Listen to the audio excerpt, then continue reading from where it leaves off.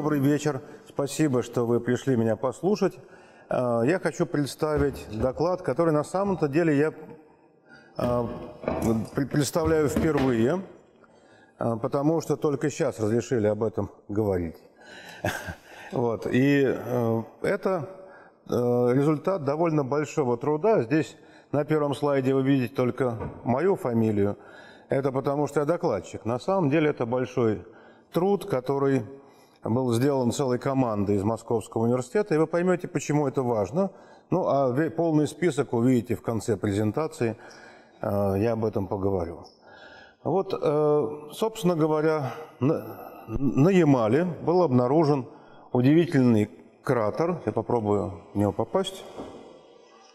Вот он, так. Вот он здесь. Э, удивительная яма, которая на совершенно практически ровной тундре образовалась странная э, полость, окруженная валом. И это произошло всего лишь в 30 километрах от э, газового месторождения Баваненкова. И рядом, буквально в трех километрах, проходит э, магистральный газопровод с этого месторождения. Поэтому, конечно, Обнаружение такого объекта сразу напрягло добывающую компанию, и поэтому а, были выделены средства для того, чтобы изучить этот объект. Ну и, собственно говоря, вот э, наша работа э, проводилась под э, эгидой Фонда национального э, интеллектуального развития при финансовой поддержке э, Новотека.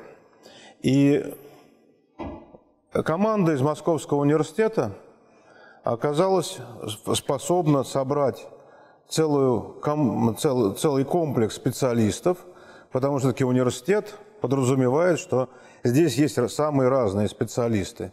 И у нас оказались не только геокриологи, но и геохимики. Сам я совершенно ничего не знаю про геокриологические процессы. И вообще-то моя такая базовая специальность скорее относится к нормальным вулканам, к тем объектам, где действующей силой является сила расширяющегося газа.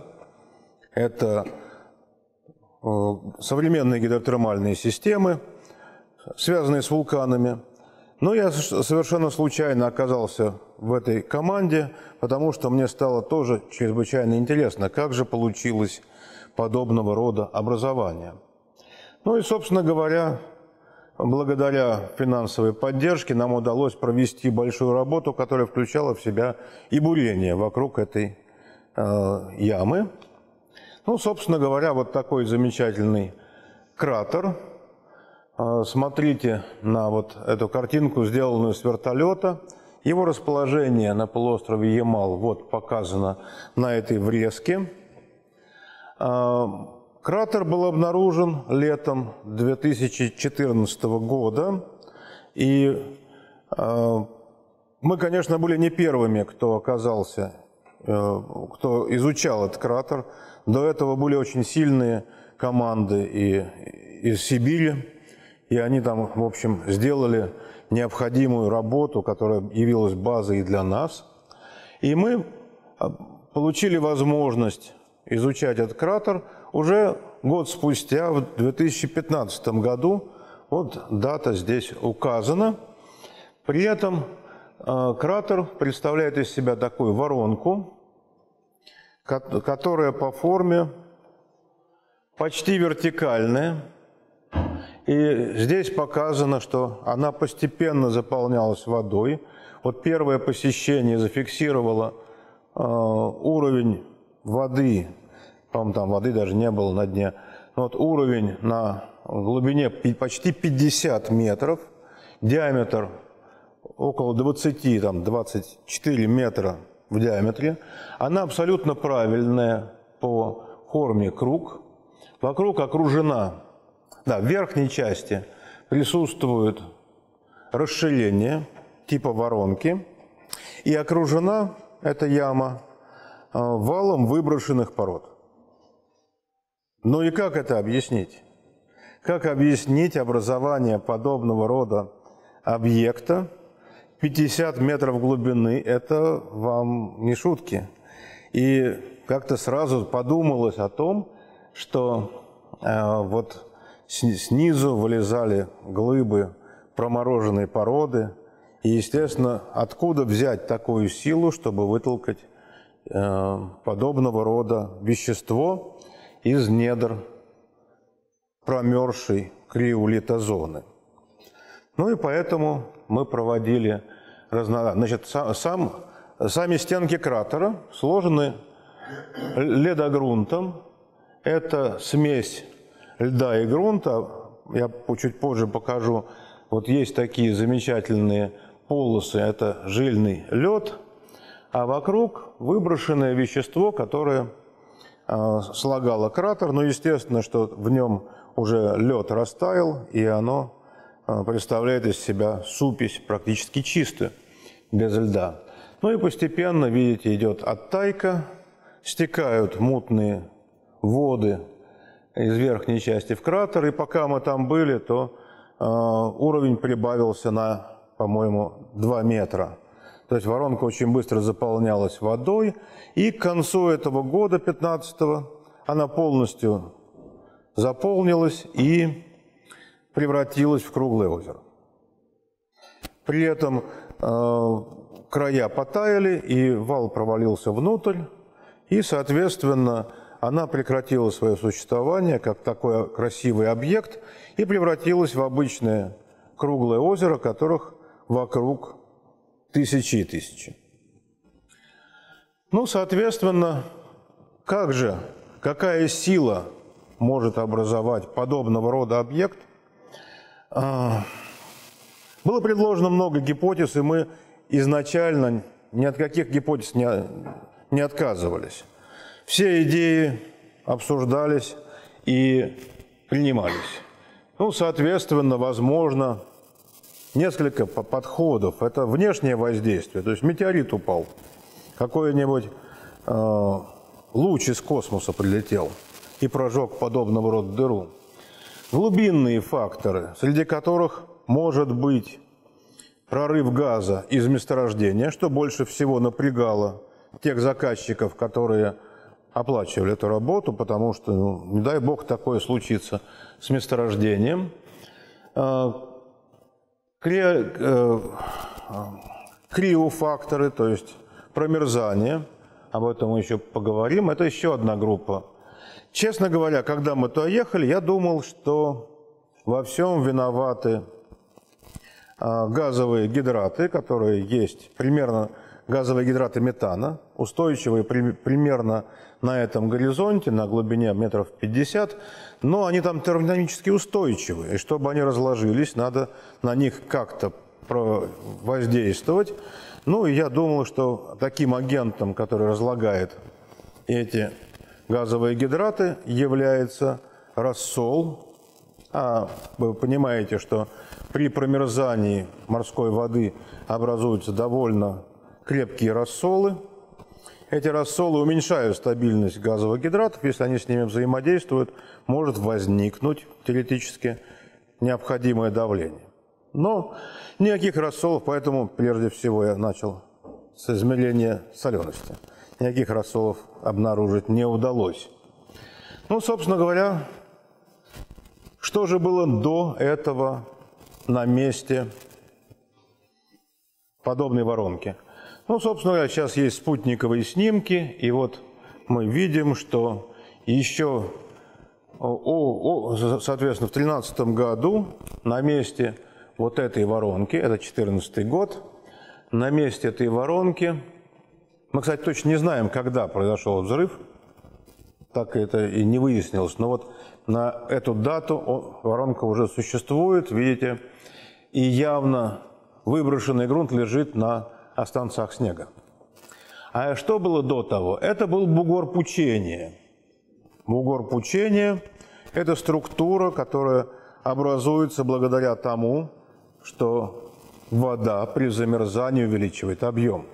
Ну, все вы прекрасно знаете, что если налить в бутылку стеклянную воды и заморозить ее, то бутылку разорвет. Да?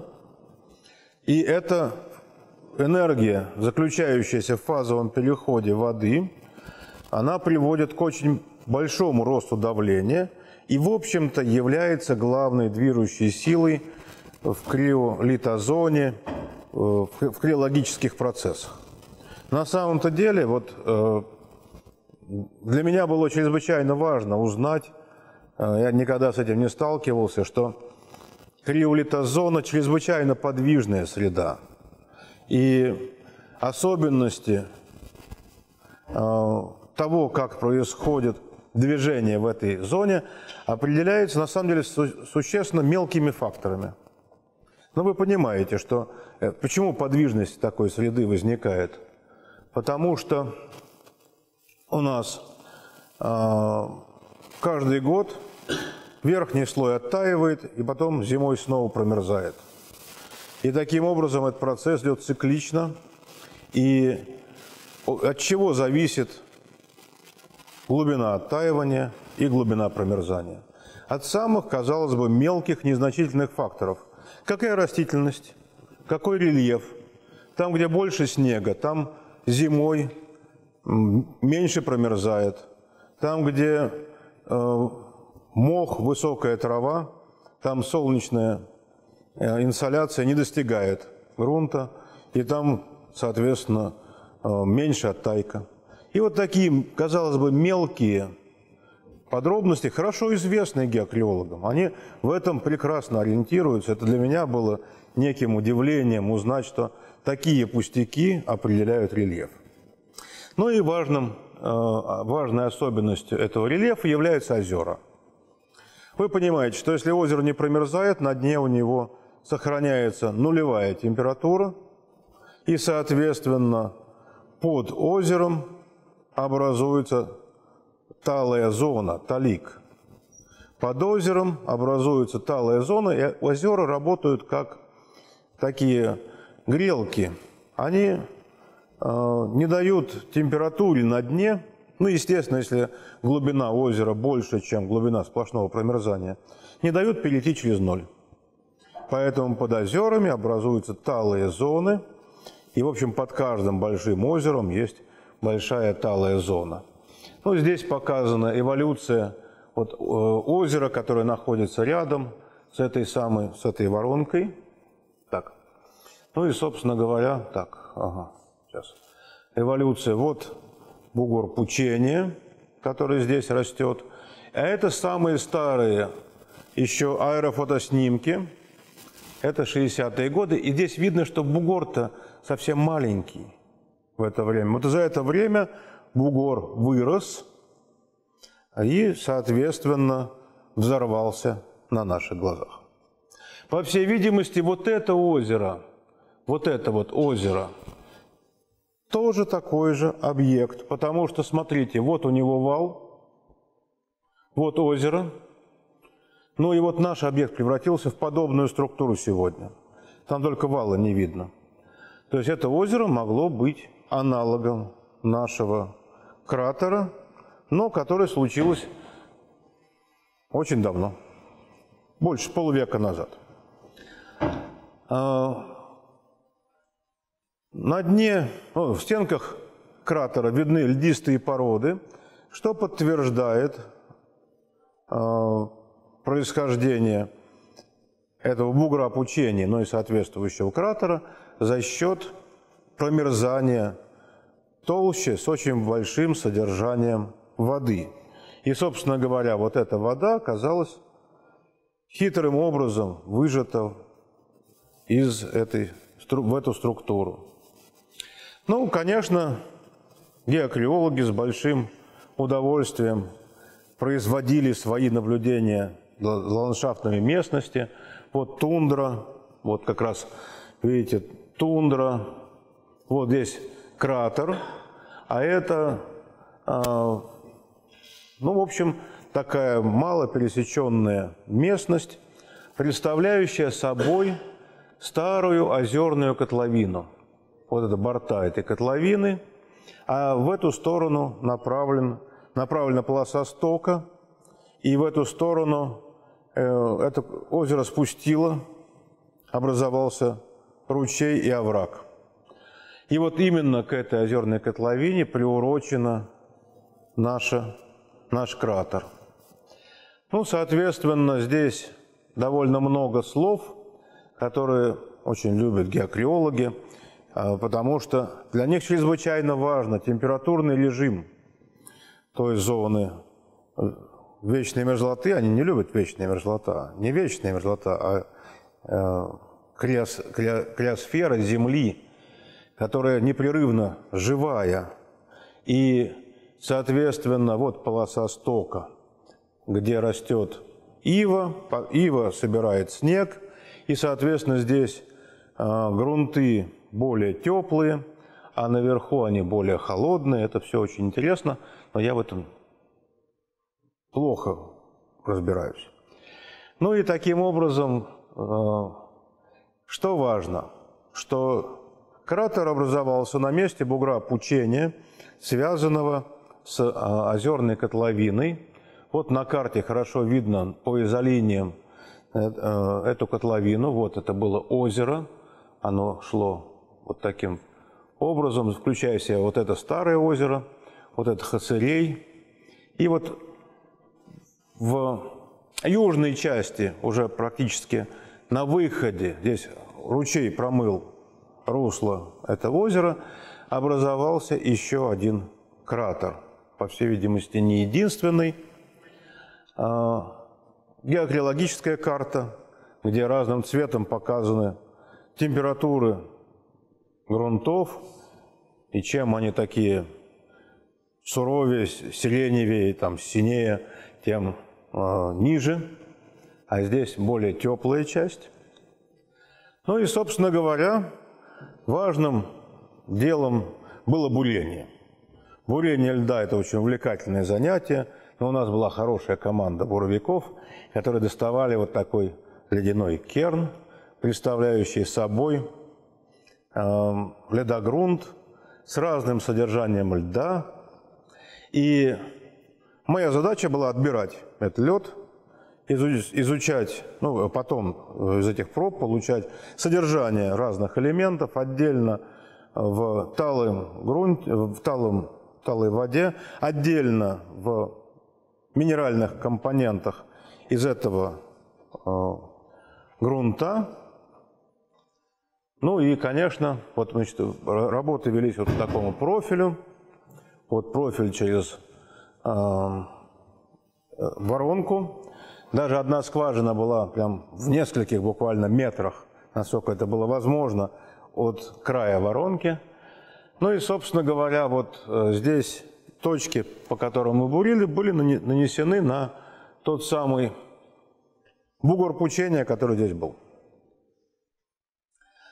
А, ну и теперь, значит, да, по результатам этого бурения была построена, был построен геокриологический разрез, и вот здесь, в середке, а, такая часть выделена как весьма льдистое тело, где повышенное содержание льда в этом грунте.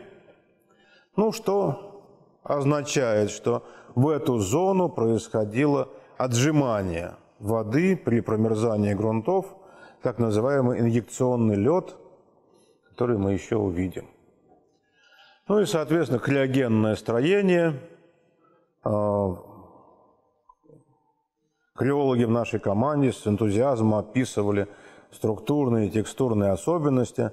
Я в них тоже плохо понимаю, поэтому просто полюбуйтесь на те картины, которые возникают при промерзании водонасыщенных грунтов, когда кристаллизующаяся сила льда выталкивает частички грунта в разные стороны, образуются всевозможные прожилки. Но я боюсь э, неправильно сказать, как это текстуры называются. Так и не выучил уроков. Ну вот смотрите, жилы льда, которые э, возникают из-за того, что лед не хочет захватывать частички грунта и образуют собственные структуры. Чем ближе мы подходим к кратеру, тем больше появляется льда, и здесь возникает уже ледогрунт, когда, видите, частички грунта, вот эти такие, частички грунта взвешены в общем льду. Там были жилы льда в грунте, а здесь частички грунта взвешенные в ледяной массе. Ну и, наконец, так, здесь плохо видно, сама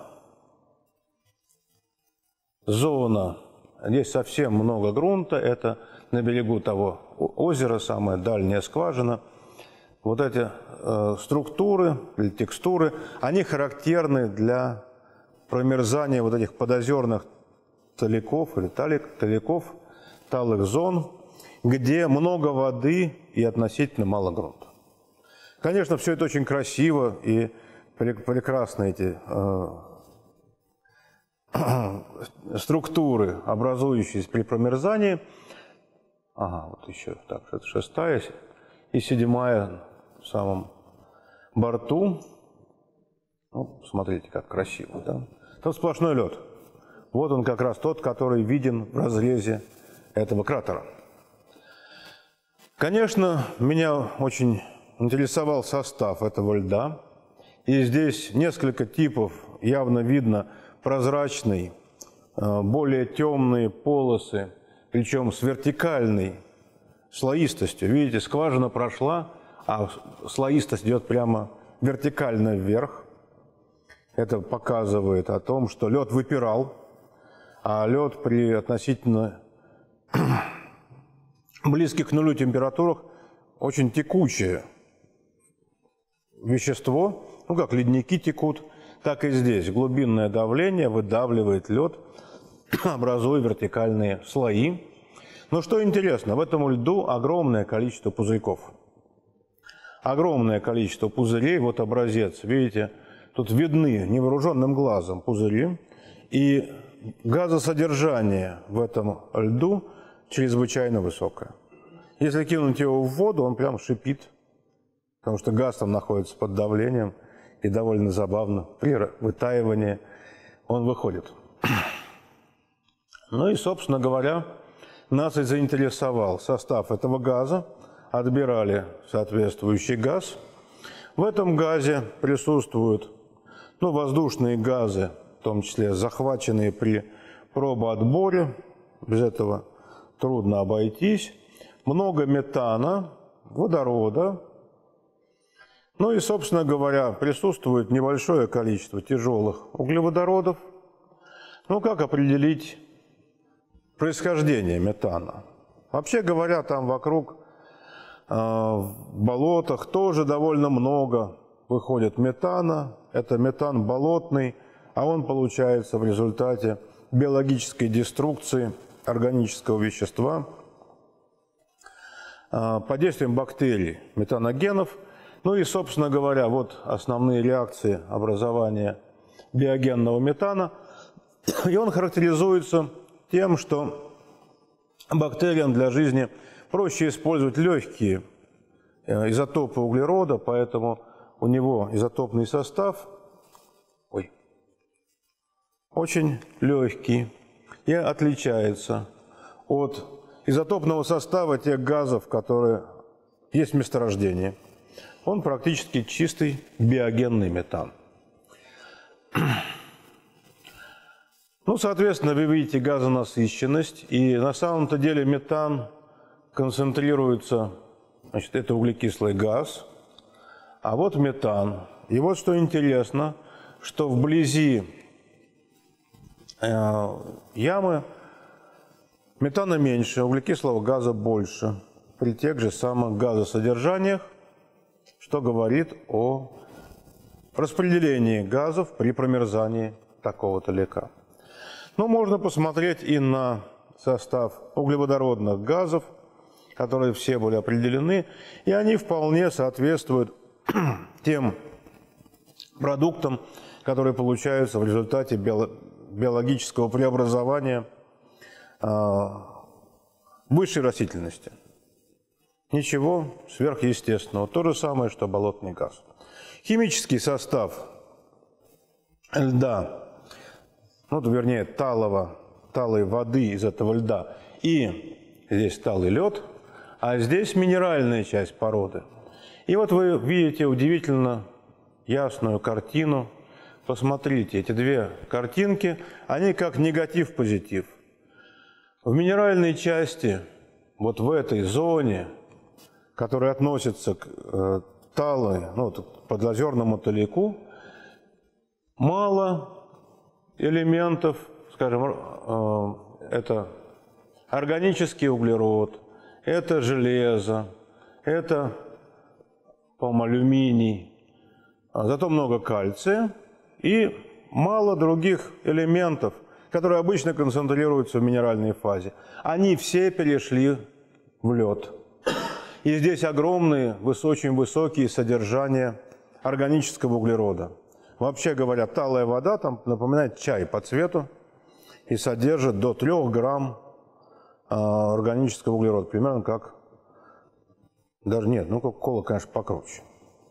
Ну вот примерно такого порядка. И вот эта органика, она растворила все элементы и перевела их в раствор, а, ну, условно говоря. То есть это очень забавный процесс, который недоизучен, что же происходит в таких таликах с химическими элементами. Но зато мы хорошо видим эту картину, которая вот позволяет нам различить точки, которые относятся к ледогрунту, они совершенно другой химии, и мерзлые породы вокруг этой озерной котловины. Ну и таким образом вот мы можем понять, где у нас границы наших зон, ну и представить себе модель, как образовался этот самый подозерный талик. То есть в этой озерной котловине было терм термокарстовое озеро, относительно небольшое по сравнению с другими Ямальскими озерами, а потом случился э, эффект промыло э, овраг, и озеро начало осушаться, его зеркало сокращается. Соответственно, начался, началось промерзание подозерного талика, и в какой-то момент э, он стал замкнутым. И в результате в нем стало накапливаться давление, которое определялось в том числе и газом, но и фазовым переходом. То есть лед занимает больше объем, чем жидкая фаза, поэтому сверху растет бугор пучения. Это обычная картина, которая наблюдается при э, осушении озер. Образуется тоже бугор пучения, они даже весьма часто, практически всегда трескаются, но такого взрыва не происходит. Почему здесь произошел взрыв? Ну вот наше объяснение, потому что здесь много газа. Много газа, который и обеспечил любопытный эффект. Ну, модель посчитали. В этой модели получается при всех эта модель обычная тепловая модель. Вот э, здесь расчеты, голубеньким показаны мерзлые породы, а желтеньким талые породы. Это вполне такая количественная модель. И вот она в одну сторону, как бы оси симметричная. Вот форма остаточного талика. Она всегда получается в виде трубы. Это понятно. По тепловой задаче, как бы мы ни морозили, у нас остаточная форма талика будет веретенообразная. Это вы легко можете сделать, если проморозить вот такую обычную бутылку. Вы увидите, там в середине будет веретено из пузырьков газа. Это последний раствор. Ну и, соответственно, удалось понять времена. То есть это времена промерзания талика порядка нескольких тысяч лет. Ну и замерзание на промерзание, промерзание – на заключительной стадии, оно очень быстро. Собственно говоря, вопрос. Получается, что остаточная камера повторяет внутреннюю часть нашей, нашего кратера, но сверху была крышка. Ну и, собственно, какое же давление могло быть в этом э, далеке.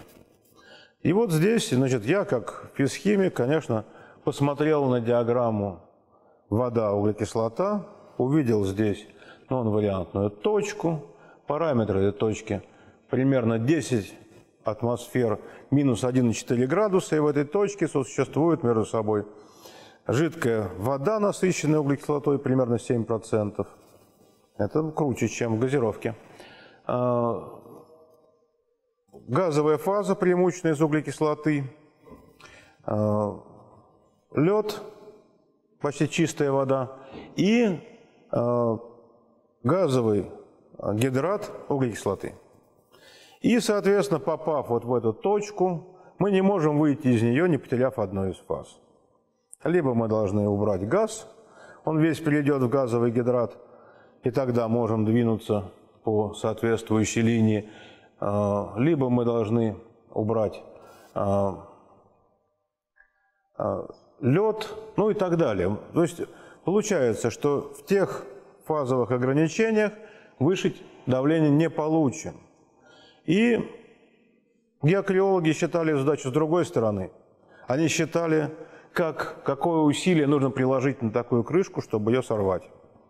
И тоже получилось решение простой физической задачи, что в зависимости от сценария 9 или 12 атмосфер. Вот оно давление, которое было в этой камере. Ну а дальше становится понятно, каким образом происходит какой, какие стадии происходит этот процесс. Нам же нужно что объяснить? Значит, веретенообразную цилиндрическую форму мы объяснили остаточным толиком, но он заполнен. Он заполнен газом, жидкой водой и грунтом.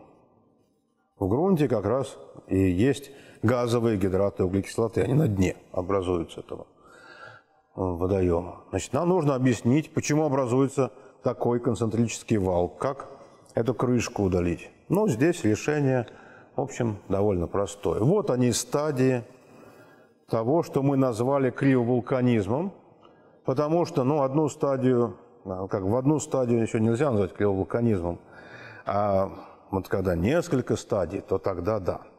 И вот, собственно говоря, для начала мы имеем остаточный талик, в котором есть внизу грунт с газовыми гидратами углекислоты, затем раствор углекислоты, 7% углекислоты примерно растворено в этой воде, и сверху газовая фаза, ну там может быть, конечно, это не чистая углекислота, скорее всего там есть еще и метан, но в любом случае у нас происходит сжатие, но давление не растет сильно. Почему же может сорвать такую крышку? А это будет зависеть от того, когда это произошло. Если это произошло а, в конце лета, то это означает, что крышка потеряла прочность из-за оттайки. А если в начале э, теплого сезона, это значит морозобойные трещины. И, скорее всего, морозобойные трещины послужили триггером, который сорвал крышку. По трещинам на первой стадии, ну, здесь 10 атмосфер углекислоты. Температура минус 1,4 градуса. Ударили струи углекислоты, валил сухой лед. Дроссельный эффект должен был падать сухой лед. Камни полетели в разные стороны. На 300 метров примерно зафиксированы разлет обломков. Ну, хорошая пушка дает такой эффект. Но этот процесс длился очень недолго, и это процесс, который я назвал пневматическая стадия. Пневматическая, потому что главная действующая сила здесь газ. Но газ не может выкинуть крышку. Крышка слишком тяжелая. Как сорвать крышку? Как образовать, скинуть вот верхнюю часть системы? А здесь вторая стадия. Вторая стадия – это вода начинает кипеть ну, естественно, не кипеть, а дегазировать углекислота, потому что давление упало. Образуется эффект шампанского. Он написан в природе довольно частое явление. В Африке так случилось, что там в озере вскипела углекислота, и там это газ отравили довольно большое количество людей, которые жили вокруг вулкана. А, но вот здесь эффект по понятным причинам из-за сброса давления и получившаяся вода, вскипевшая, вот она уже легко снесет крышку, стоящую примерно из льда. Но крышку снесет, и вот они, куски крышки, лежат. Никакого круглого вала не образуется. Тут следующий эффект. А дальше начинают разлагаться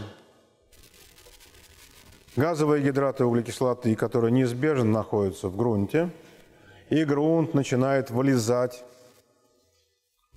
такими порциями по трубе и образует уже вал, а кратер опустошается. Этот процесс подъема грунта из кратера, по всей видимости, занимает довольно длительное время, потому что газовые гидраты, они разлагаются медленно. Но, тем не менее, именно это обеспечивает окончательный результат образования подобного кратера. Ну и поэтому мне показалось, что криовулканизм оправданно использовать для такого многостадийного процесса. Ну а кроме того, это связывает процессы, происходящие в нашей криолитозоне, с другими небесными телами, потому что криовулканизм был впервые описан для Энцелада, спутника Сатурна, где в результате, ну, по всей видимости, приливных сил э, происходит какой-то источник тепла, до сих пор не очень ясно, но, скорее всего, это приливные силы, и образуются струи э, ну, воды, устремленные в космос. Вот они в настоящем виде. Ну, а так это представляют себе на картинке. Менее доказаны криовулканизм на других небесных телах. Ну, на Европе, где ледяной океан. Возможно, еще на нескольких объектах, но не так красиво, как на Энцеладе. И, конечно, в этом отношении всегда рассматривалось, что для того, чтобы такая струя ударила, нужно внизу подогреть. А вот мы видим, что не, не только можно, можно подогреть, а можно сначала подогреть, а потом проморозить. И тоже получится неплохо. Это довольно интересный э, результат, который можно использовать для объяснения таких же процессов за пределами Земли. Ну и, собственно говоря, вот если мы летим над тундрой на вертолете, то мы видим огромное количество бугров пучения, вот один, вот второй – огромное количество озер, множество процессов. Далеко не все бугры пучения взорвутся, некоторые просто треснут и не будут участвовать во всех этих стадиях. За то время, пока значит, был обнаружен этот кратер, а, описано еще 5 или 6 подобных объектов. Ну а почему, вот главный вопрос встает, почему вдруг стали эти кратеры образовываться? Всегда спрашивают. И это вопрос принципиальный и очень важный. Что это глобальное потепление? Или же это... А какая альтернатива? Значит, глобальное потепление, у нас меняется климат в результате антропогенного воздействия, и Арктика взрывает мир – если мы так написали, конечно, мы в Nature опубликовались. Нет, все-таки наши дискуссии по этому поводу привели к тому, что, скорее всего, здесь мы имеем дело не с изменением климата. Никаких оснований думать, что какая-то волна тепла обрушилась на Ямал, нет. Напротив, там на самом деле при изучении вот этих талых зон – я вижу следы э, того, что некоторое время назад оттайка была глубже. Она там сохранилась. Зона оттайки была на глубине около трех метров. Когда это было, я не могу вам сказать, но это было. Это были более теплые времена на Земле, и ничего страшного с ней не произошло. Вот. И сейчас мы не видим там существенного увеличения зоны оттайки. и таких страшных процессов? Э, не знаю. Поэтому все-таки второе объяснение, что человек только сейчас начинает осваивать Ямал и натыкается на новое явление, которое раньше было, но не было зафиксировано. Здесь почему эта воронка оказалась обнаружена? Потому что над этим местом четыре раза в день летает вертолет. Четыре. И то обнаружили не сразу. Но кроме того, представляете, вертолет летит, пилот видит объект такого рода. Он не имеет права ни сесть, ничего. Он может кому-то доложить, может не доложить. Они потом говорят, мы такого много видели, как всегда.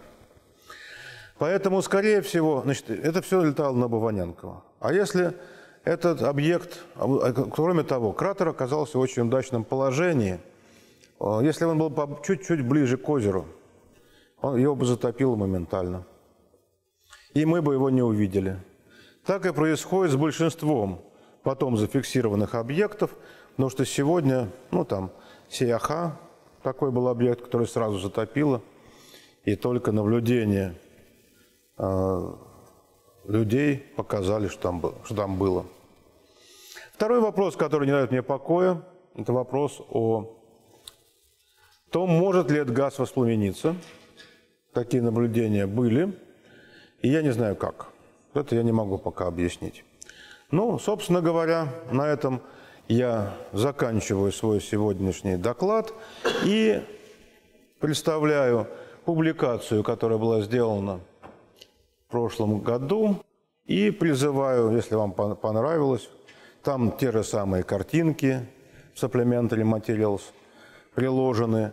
И примерно то, что я рассказывал, изложено, правда, короче, но на чужом языке. Ну и, э, как это, расшаривайте в Фейсбуке. Я буду признателен. Поэтому здесь указан ДОИ и адрес. Спасибо. Спасибо большое.